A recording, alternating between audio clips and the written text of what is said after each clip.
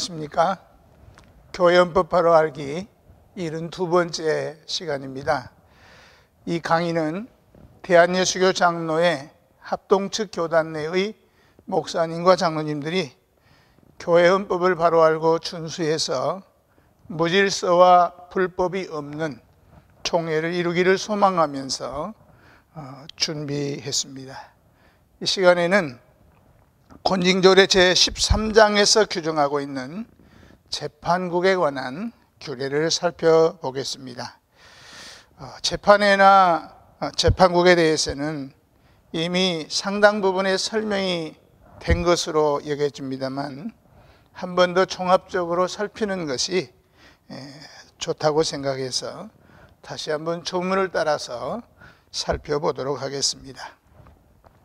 먼저 7위권은 행정권과 재판권 혹은 권진권으로 나뉘므로 7위에마다 행정 처리를 위한 모임인 행정회의가 있고 재판하기 위하여 모인 모임인 재판회의가 있습니다. 이 재판회를 흔히 7위회로 모였다고 잘못 일컬어 왔는데 7위회는 행정회도 7회입니다.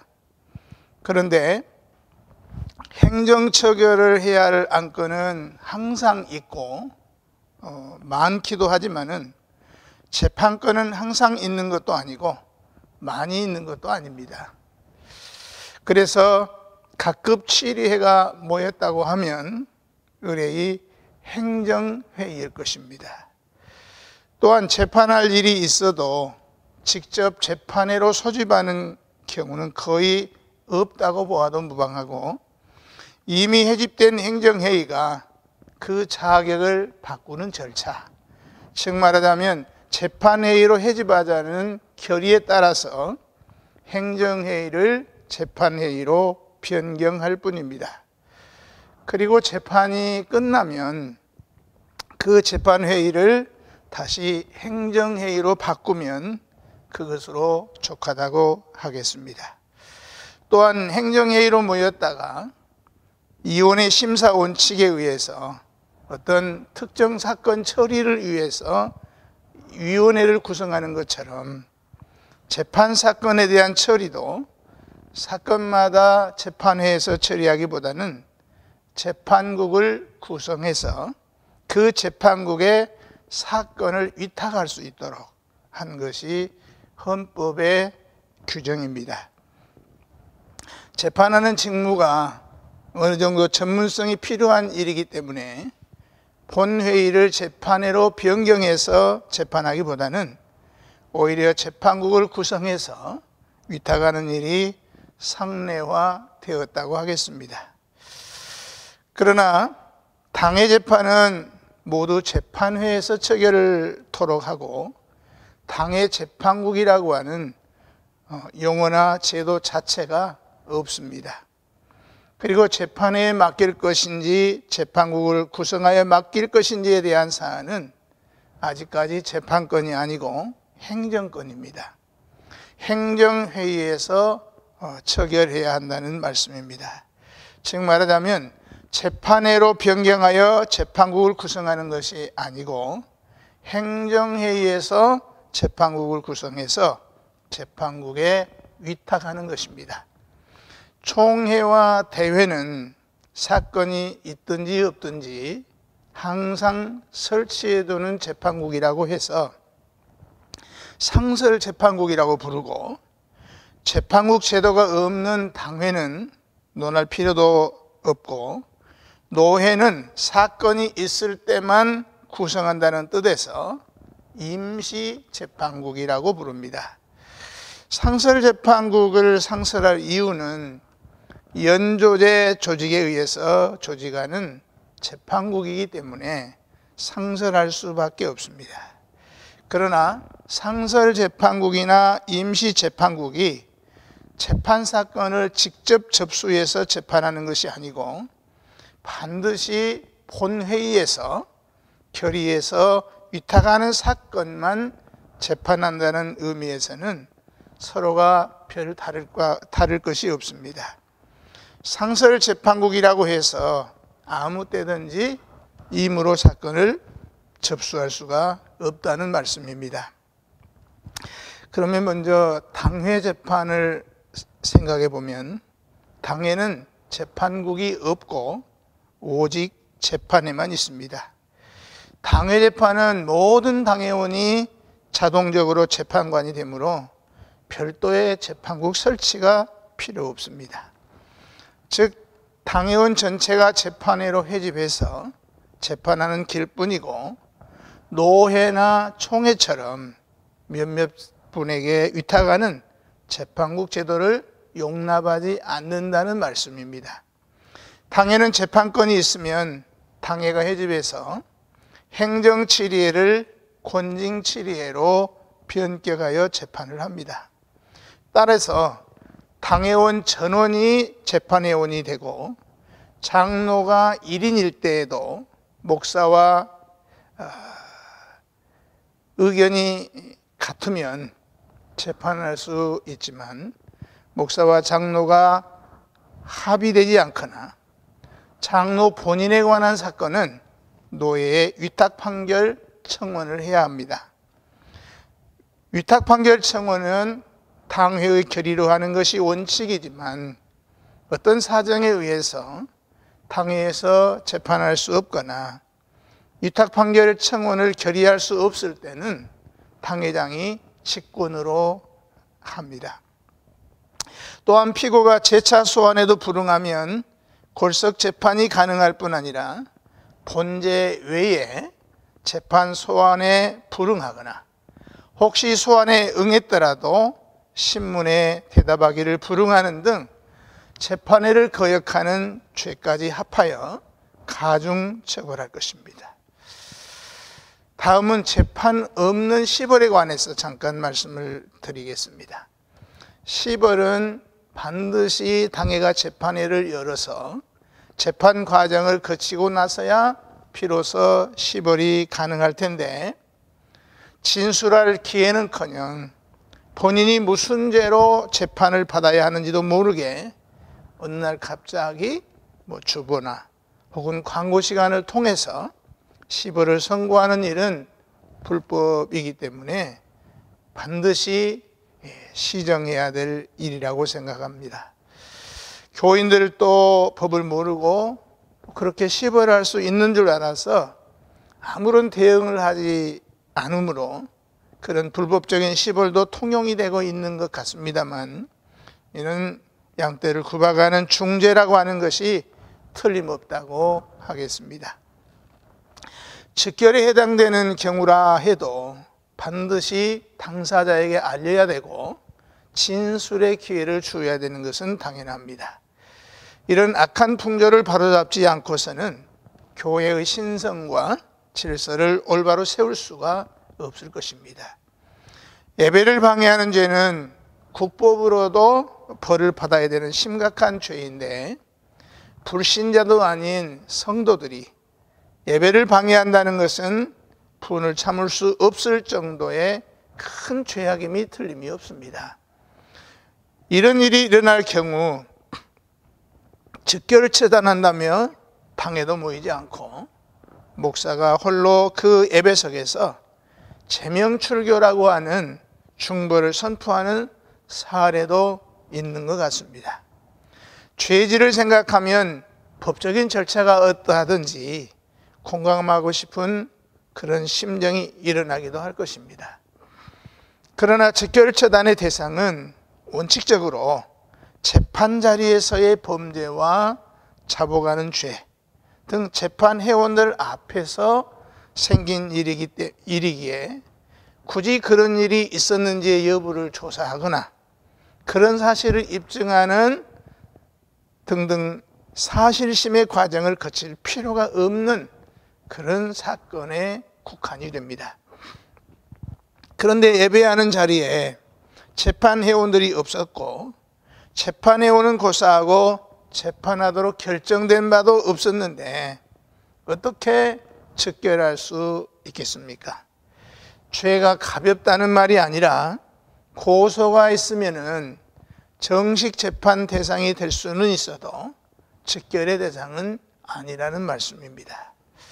다음은 해벌에 관해서 잠깐 말씀을 드리면 벌 받은 사람을 해벌하려면은 당회가 모여서 가결해야 되고 예배 모범의 규정을 따라서 해벌 절차를 취하면 될 것입니다. 앞에서 본 바와 같이 이것은 무기 시벌의 경우이고 유기 시벌의 경우는 그 기간이 만료가 되면 별도로 취할 절차가 없습니다. 다만 수찬 정지는 그리스도와 교제가 단절된 것을 의미하고 그 기간 동안에 직분도 없는 자처럼 되었기 때문에 시무 절차를 취하지 않는 한 시무할 수가 없으면 두말할 필요가 없다고 하겠습니다. 이제 권징조례 제 117조가 규정하고 있는 노예 재판국에 관한 규정부터 살펴보겠습니다. 제 117조는 노예 재판회와 재판국에 관한 규정입니다. 조문을 살펴보면 노예는 관내 목사와 장로 중에서 재판국원을 투표 선정할 수 있으니 노예 재판국원의 수는 7인 이상으로 정하되 그중 과반수는 목사로 선택한다. 노예는 재판 사건을 직할 심리하거나 재판국에 위탁할 수 있고 재판국은 위탁받은 사건만 심리 판결할 수 있다고 규정하고 있습니다. 먼저 재판 관할권에 관해서 살펴보면 어, 첫째로 교인과 목사의 관할을 살핀다면 원칙적으로 권징조례 제4장 19조에 규정한 대로 각 치리회의 재판권의 범위는 그 치리의 관할 범위에 국한하는 것입니다. 그러므로 교인을 피고로 하는 재판 사건은 제각기 당회 소속 당회가 원심이 되고 목사를 피고로 하는 재판 사건은 제각기 소속 노회가 원심이 되는 것입니다. 그러나 이같이 삼심 제도로 말미암는 유계적인 상소를 허용할 뿐 아니라 법은 하에 관할 사건을 상회 이탁 판결을 구하는 제도도 허용하고 있기 때문에 각각 상해가 2심, 3심이 되는 외에 제1심이 되는 경우도 있습니다. 가령 당해 관할의 하해 사건을 당해 위탁 판결 청원에 의해서 노회가 1심이 되어서 재판하기도 하고 이런 사건이 상소될 경우 총회가 2심이 된다는 말씀입니다. 두 번째는 재판권과 관할권에 관해서 살펴보겠습니다. 그런데 가령 교인이 목사를 고소한 노예의 재판 사건에 대해서 노회가 심리한 결과 도리어 원고인 교인의 악행이 발현되어서 원고 즉 교인을 시벌할 경우 노예가 직접 시벌할 수 있느냐 하는 문제가 일어날 수 있습니다.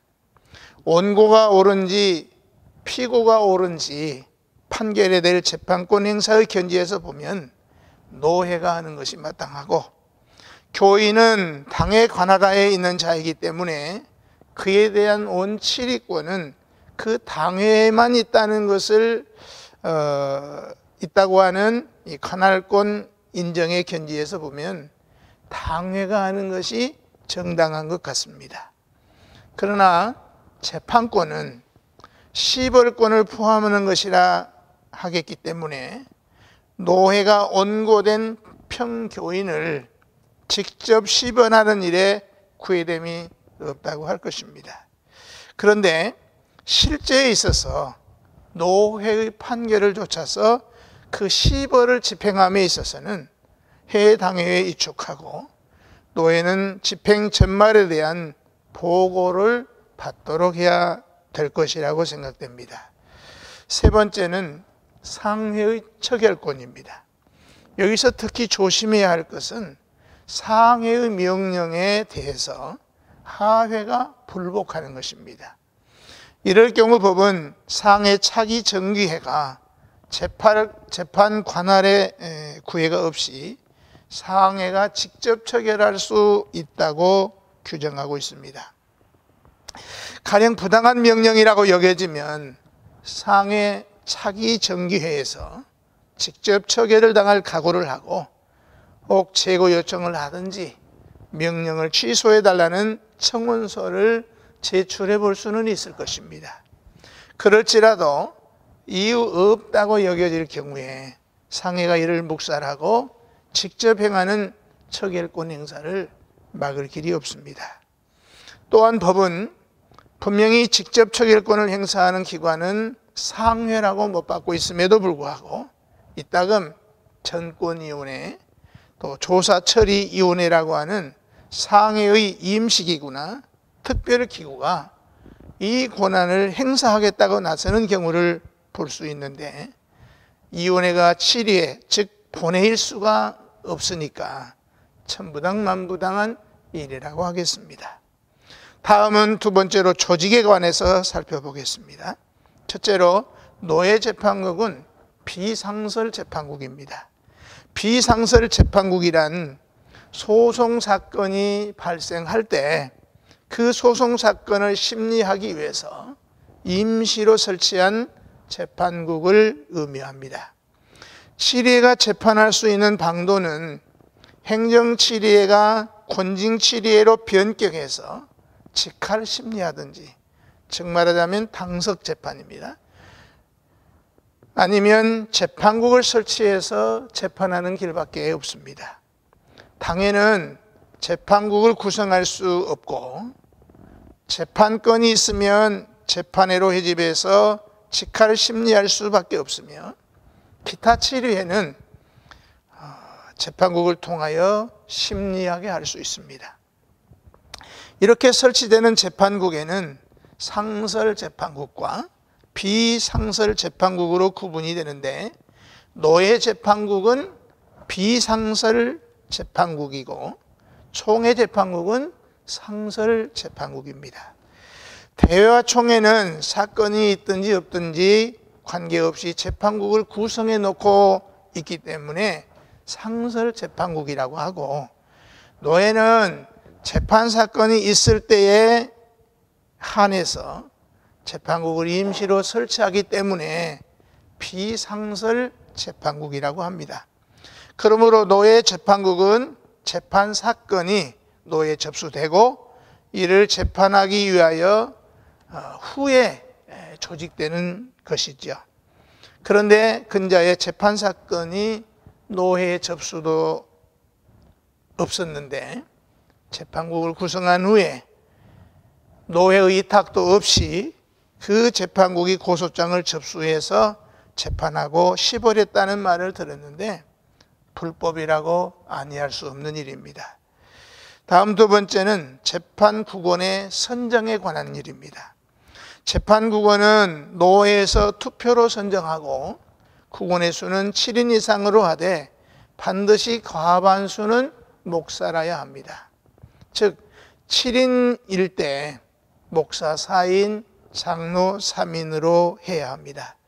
그러나 여기에 투표로 선정할 수 있으니라는 조문이 투표로 선정해야 하느니라 하는 것이 아니기 때문에 7위에는 얼마든지 투표 이외의 방법으로도 재판국원을 선정할 수가 있을 것입니다.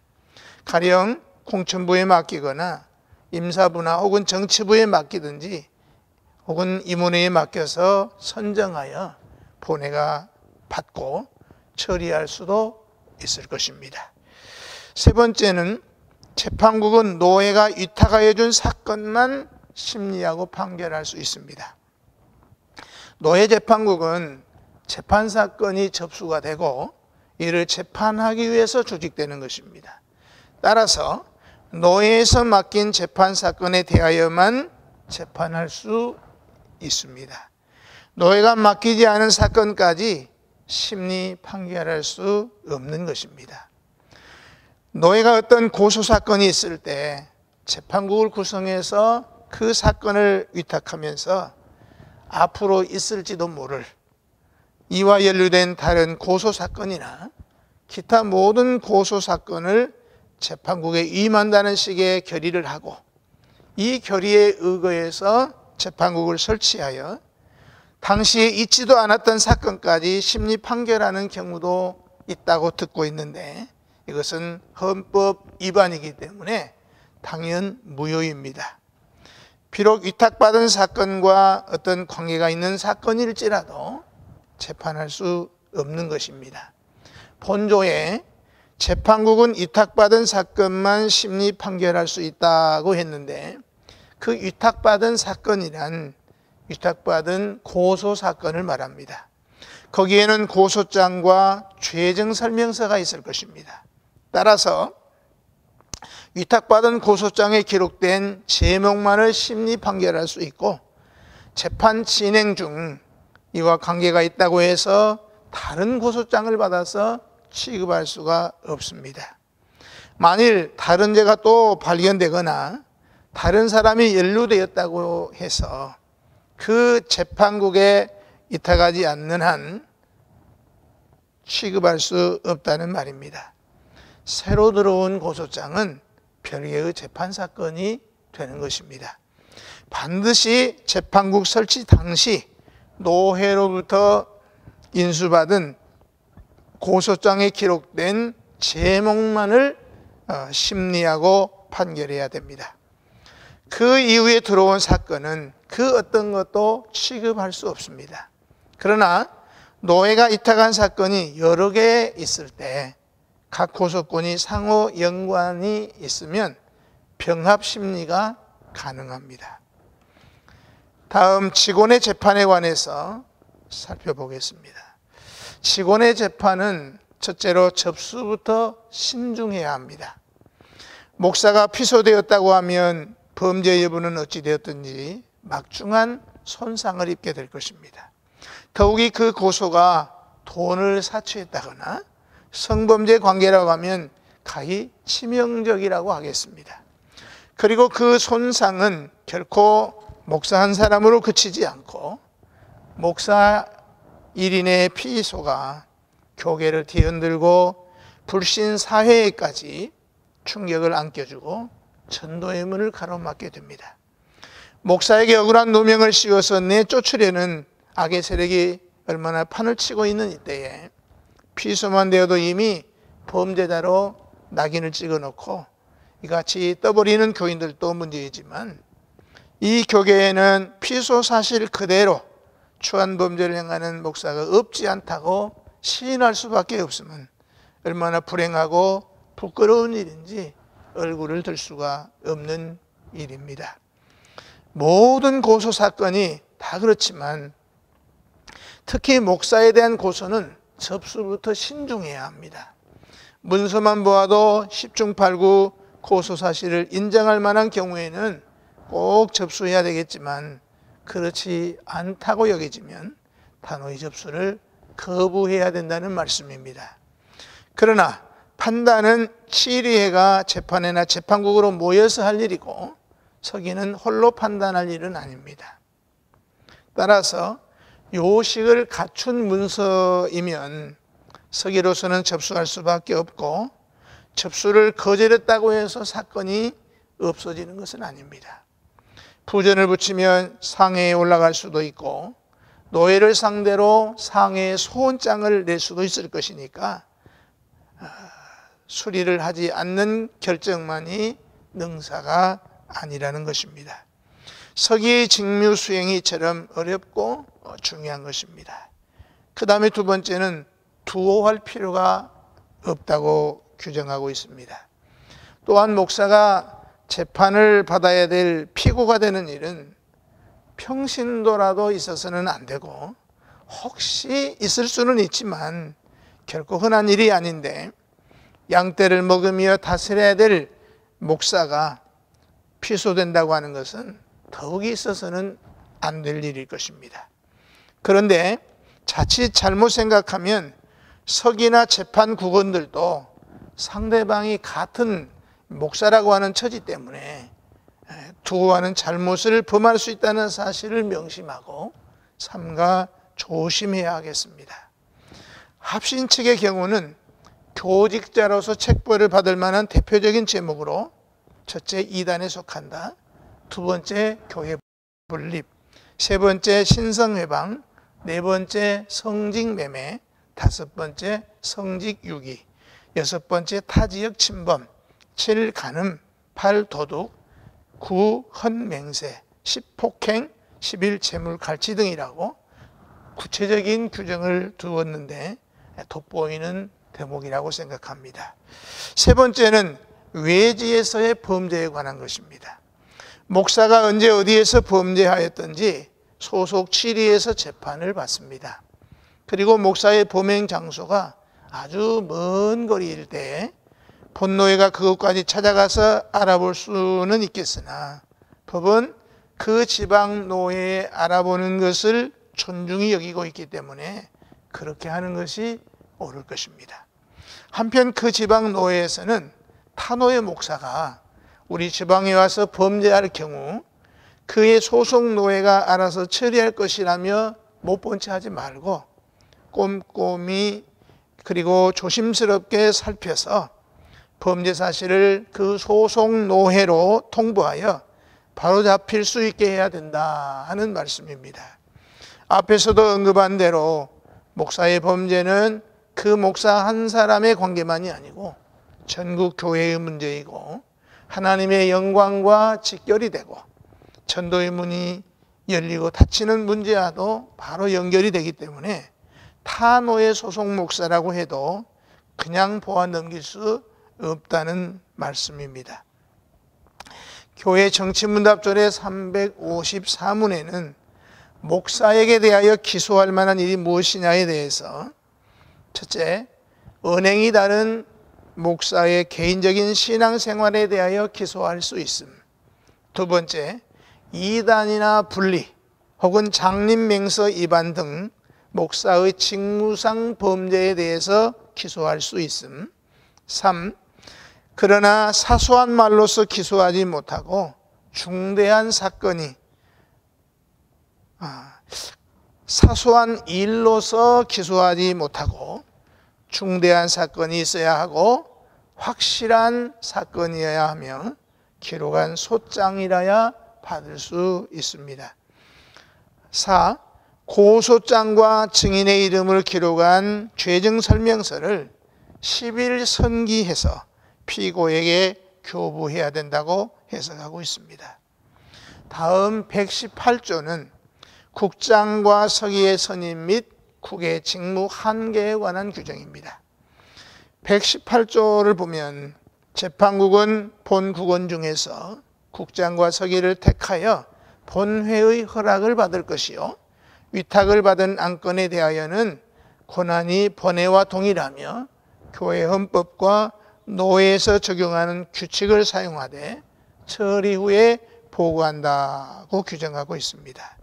먼저 국장과 서기의 선임에 대해서 살펴보면 재판국은 본 국원 중에서 재판국 국장과 서기를 국원회의에서 선출해 가지고 본회의 허락을 받아야 하도록 백의의 총회에서 개정한 바 있으므로 노예가 재판국을 구성할 때는 재판국은 반드시 노예가 폐하기 전에 본회에 보고하고 허락을 받아야 할 것입니다.